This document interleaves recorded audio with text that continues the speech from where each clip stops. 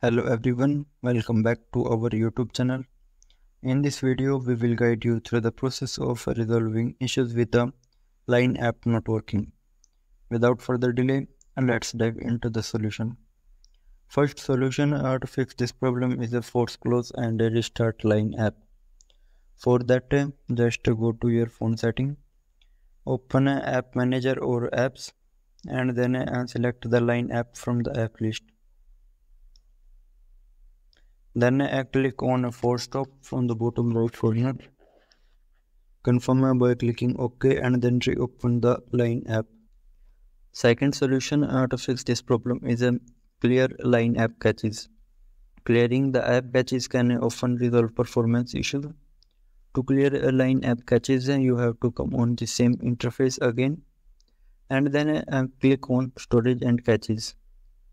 Then tap on clear caches to clear the app caches. Third solution uh, to fix this problem is a update line app to the latest version.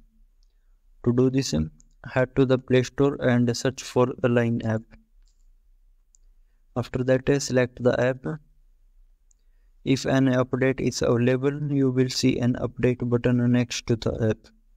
Tap on it to update the app to the latest version. Once uh, updated, launch the app again. Fourth solution uh, to fix this problem is a disable and enable your internet connection. To resolve this problem, try toggling your internet connection. If you are using mobile data, then turn it off for 5 to 10 seconds. Then switch it back on. For Wi-Fi users, and turn off Wi-Fi for the same duration. And then uh, turn uh, it back on. Alternatively, activate aeroplane mode for 4 to 5 seconds. Then switch it back off. By doing this, your mobile phone will disconnect from internet and reconnect with it soon. Fourth solution uh, to fix this problem is uh, uninstall and reinstall the Line app. If the problem persists, uninstall the Line app by going to Play Store, searching for the app and then selecting uninstall. Once uninstalled, reinstall the app by clicking on the install button. If none of the above methods work, the issue may be line app server is down.